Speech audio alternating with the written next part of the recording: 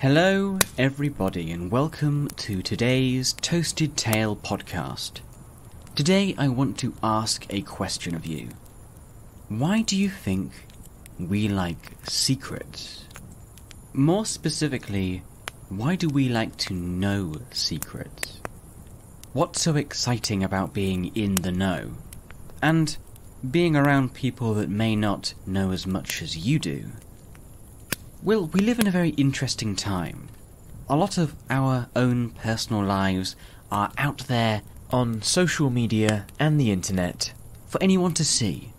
Every day on the 24 hour news cycle, we are bombarded with up to date news, sometimes correct, sometimes false. But we are constantly being told pieces and snippets of information that by and large are accessible to anyone who wants to view it. Therefore, understanding why we get that gratification when knowing a secret where others do not is important to understanding our own minds and how we've developed as humans.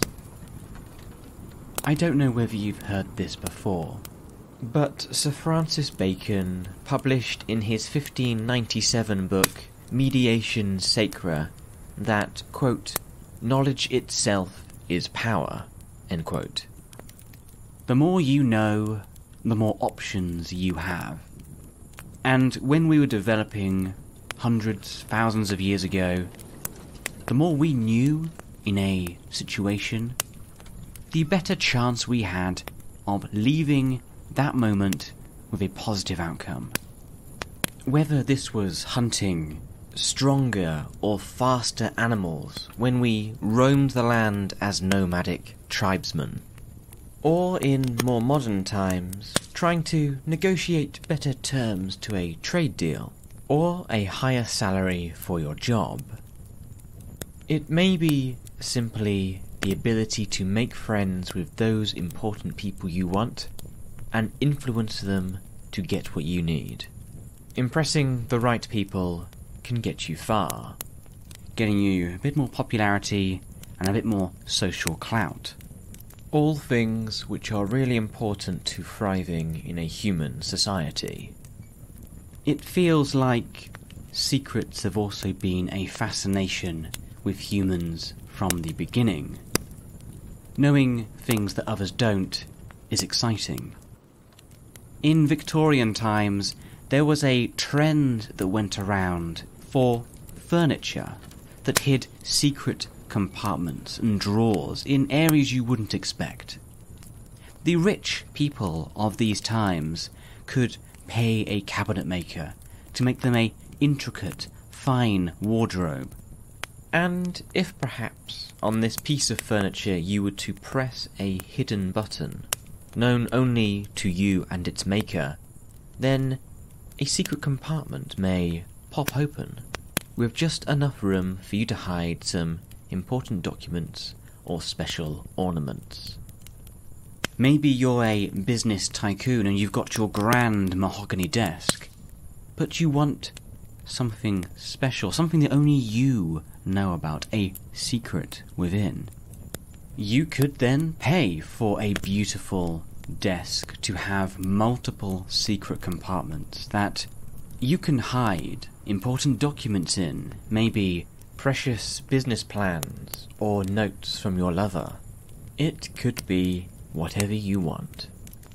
It could simply be when you invite all of your work pals over, you can show them how special your furniture is.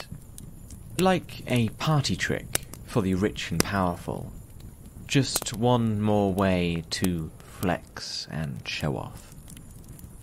It's funny as well, there have been waves of Victorian furniture inherited through family heirlooms and the like, which have been passed down, and only now, when perhaps moving a piece of furniture and hearing a rattling within that is unusual, where families are finding these secret compartment filled pieces that are filled with the most peculiar items and often create more questions in the mind of the finder than what's answered.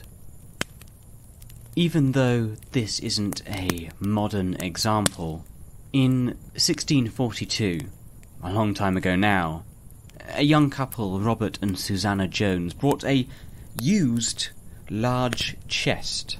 They were obviously going to use it for storage. And they lived with this chest for 20 years until one day they decided to move it. And inside, after some rattling was heard, they investigated and discovered a secret drawer within.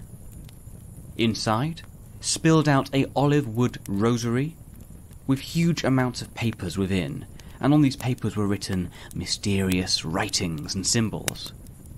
Now, some of these papers, with no one knowing their importance, were used over time, but some years later, after the Great Fire of London broke out, Susanna, now a widow unfortunately, had the sense to take the papers with her.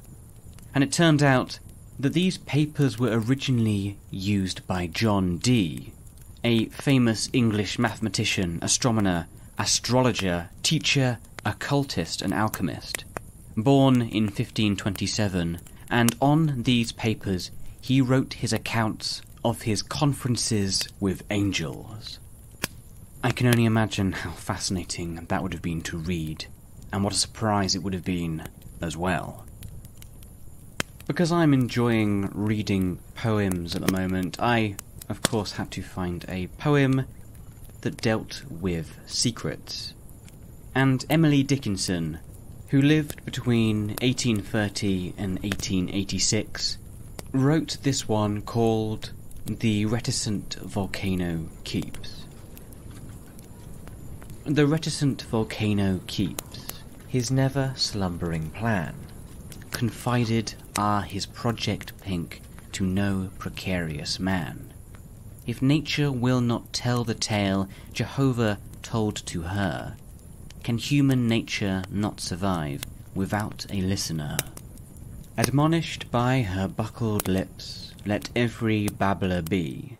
The only secret people keep is immortality. Thank you so much for tuning in to today's episode of the Toasted Tale podcast. This episode was inspired by a short video I saw of a modern day furniture maker who had made a Harry Potter themed desk with all the magical secret compartments that I thought was awesome. And so I wanted to look a little bit deeper, so thank you for giving me that opportunity. If you liked today's episode, then you can follow me on Facebook and Twitter. My handle is at Podcast Tale. Sharing, liking, and commenting on this episode as well helps the channel greatly. Thank you so much for listening again. I really appreciate any feedback you have. I look forward to speaking to you all again soon for another Toasted Tale by the Fireside.